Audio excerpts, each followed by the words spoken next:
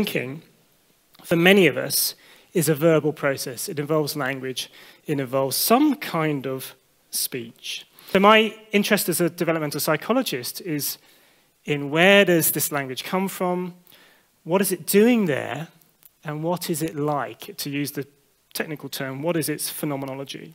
And this is where Vygotsky comes in, because Vygotsky had a lovely, clear, simple theory of how all this works. He argues that children are born into a social world. They don't have to become social, they don't have to learn to be social.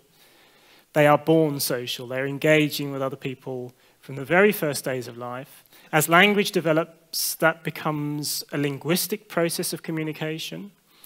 So they're engaged in social dialogue from almost as soon as they've got language.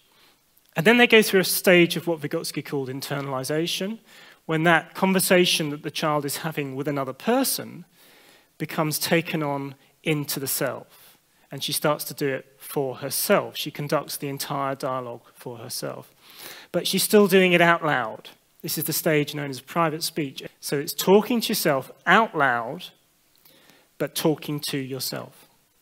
Then, according to Vygotsky, there's a bit more internalization, and all that, that stuff that was going on externally becomes totally internalized, so it's just going on in the head. And that is your inner speech. That is the words in your head that you hear when you're walking to work, when you're lying in the bath, when you're preparing dinner in the kitchen. That internal conversation started out developmentally as an external conversation.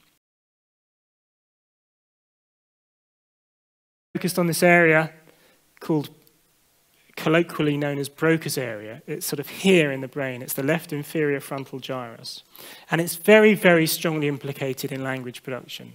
If you have damage to this area, you're, you're going to have aphasia. You're going to have a problem in producing language. We looked at a second area, which is known as Heschl's gyrus. And we picked this area because it's not meant to be involved in speech production. It's meant to be involved in hearing stuff, in processing uh, speech and other sounds. It wasn't meant to be a big speech production area, so we didn't expect it to activate when people were doing inner speech. When people are doing inner speech naturally, there's nothing in Broca. There's no activation, or tiny amount. But there's a huge activation in this part of the brain which isn't supposed to be involved in speech. You get completely the opposite pattern of findings depending on whether you ask people to do inner speech compared to when they do it naturally and spontaneously. And we think the implications of this are pretty profound, not least for all the studies that have gone about thinking that you can study this stuff simply by telling people to do it. Now, and I'm going to talk about an experience that many people probably wouldn't admit to, probably wouldn't relate to. I'm going to talk about the experience of hearing voices. But why am I even talking about hearing voices? Surely I'm talking about something that's very deviant, that's very unusual, that's very strange, that's very not part of everyone's experience. Well, it actually seems to have a lot in common with the thing I've been talking about up to now, the experience of inner speech. The theory is very simple. People who hear voices, according to the theory, hear a voice when they're actually just producing some inner speech. They are just talking to themselves, but for some reason, they don't recognize it as something that they themselves have done. What normally happens is that when you produce some inner speech, you're thinking to yourself, go and get the milk. It's almost like a signal is sent, sent within your brain from that speech generation part of the brain to the speech perception area saying, don't worry too much about this thing you're about to hear because you said it. That's effectively the idea. The, the, the system, the auditory system is, is suppressed because it's getting a signal saying, it was you that did that. So don't, you know, don't, don't treat it as if it were an external utterance. Don't process it in that way. Just switch off. Don't worry about it. And that seems to be what happens in the typical case. So when we're talking to ourselves, usually, that message is getting through and we're not we're not perceiving our inner speech as external. But for some reason, the theory goes, when people hear, vo hear voices, that signal doesn't get through. It's degraded, it's delayed, it doesn't happen at all. Something goes wrong with that signal. And so this, the message saying, don't listen to this, it's just you, doesn't get through. And so people produce them in a speech and they perceive it, they experience it as an external voice.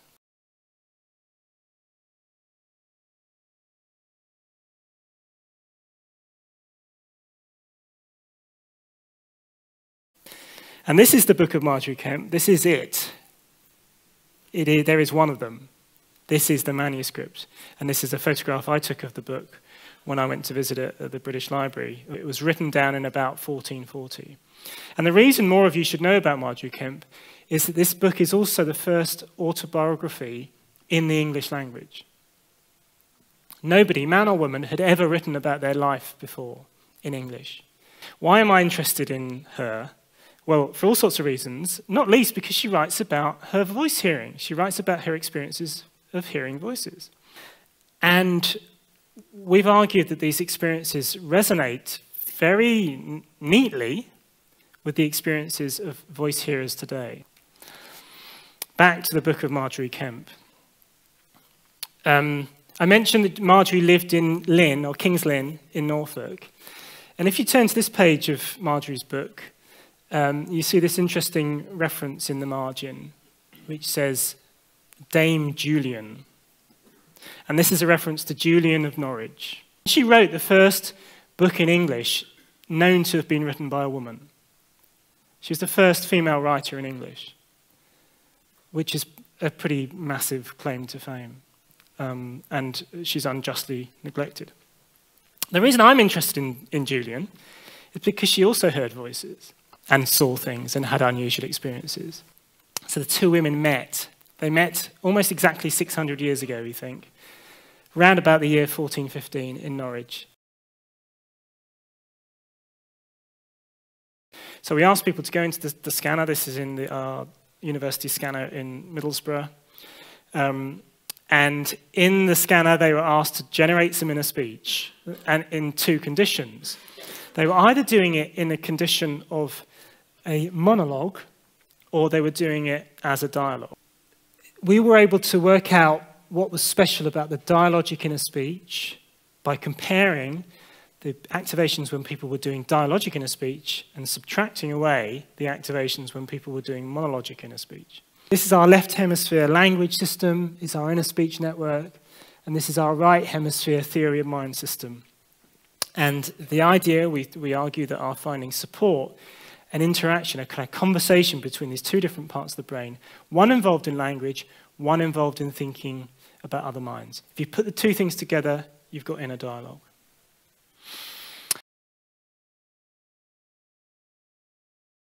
Some other research that we've been doing recently suggests that more general aspects of brain development might play a role. So we had access to a sample of uh, brain scans from some patients with schizophrenia in Australia. Jane Garrison, who led the study at Cambridge, had developed um, expertise in being able to measure a particular part of the brain known as the paracingulate sulcus. And it's a little fold that's kind of deep down inside your brain towards the front.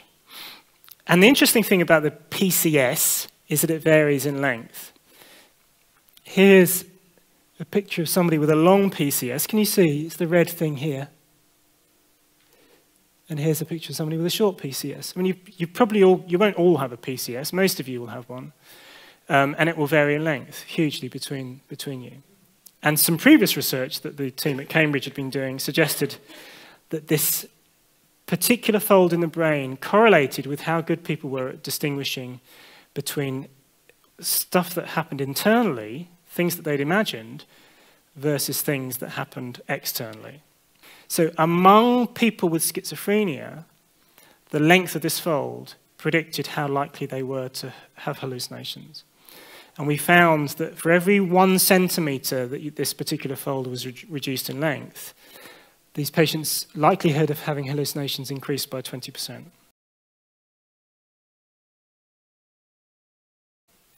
There's a lot of interesting research still to be done. I hope I've given you a flavor of how varied the ordinary voices in our head are, but also of how varied the more unusual experience of voice hearing is. showing you some of the connections between the two, and giving you some food for thought, I guess. Um, this is the, the book, and this is it in its lovely US edition, which is uh, coming up soon. And finally, a few acknowledgements. Thank you.